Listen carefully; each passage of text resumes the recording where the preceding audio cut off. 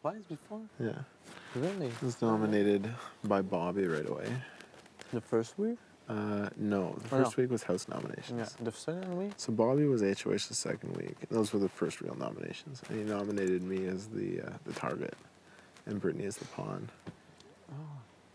Yeah, I remember you were in the. And then I heard the conversation, and it flipped. All the guys wanted the girls out. That's true. So then I, I won the power veto in the beaver competition.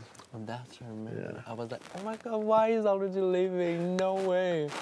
And I was like, oh, there you go, Cindy, fuck you.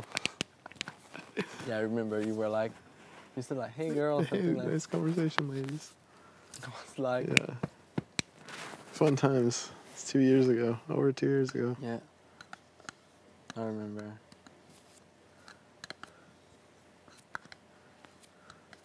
Oh yeah, I remember.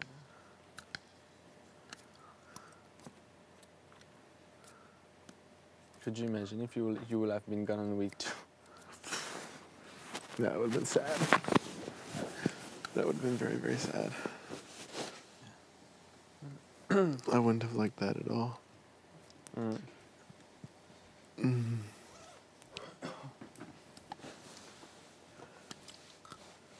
I wouldn't have liked that.